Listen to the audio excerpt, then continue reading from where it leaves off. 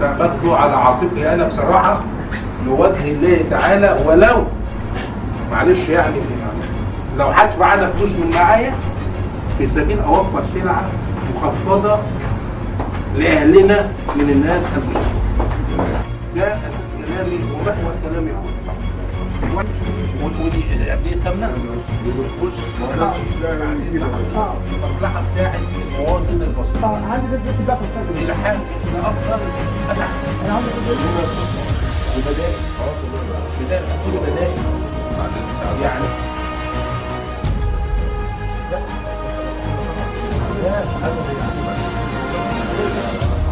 لو الناس تكون عليها